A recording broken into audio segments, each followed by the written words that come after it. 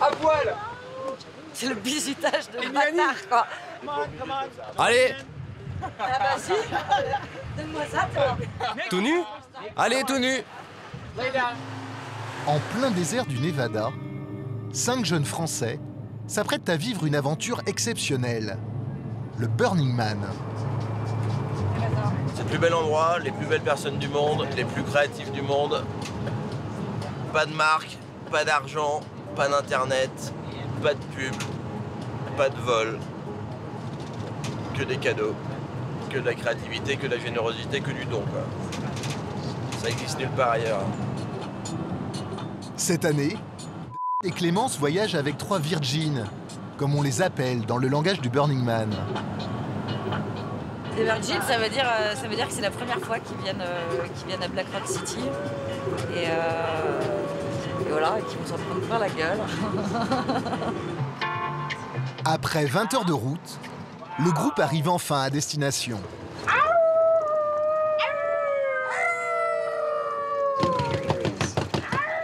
Putain mec, ça fait 5 ans que j'en entends parler quoi. Seja bem-vindo ao Burning Man. Volte a Burning Man. Welcome to Burning Man. Bienvenue au Burning Man. À la radio, les organisateurs de l'événement souhaitent la bienvenue dans toutes les langues du monde. Bienvenue au Burning Man.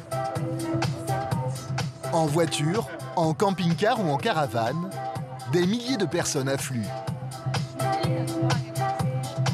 Et déjà, des embouteillages se forment dans des nuages de poussière.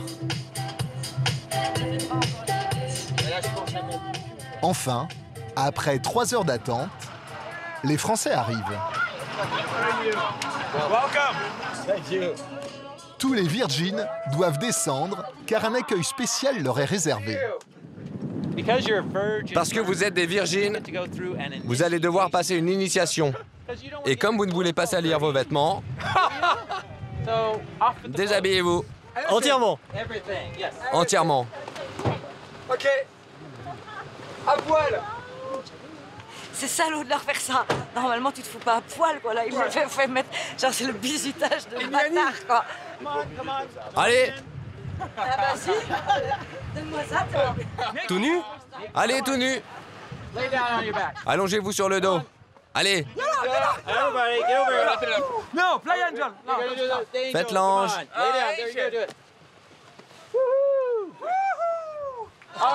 Allez, venez ici. Cette cloche va te permettre de pénétrer à l'intérieur. Ça va te donner beaucoup d'énergie. Donc frappe très fort. Je ne suis plus un virgin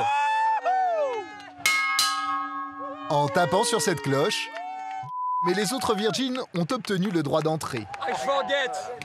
Comme chaque participant, ils ont aussi payé 350 euros pour vivre cette aventure qui va durer une semaine.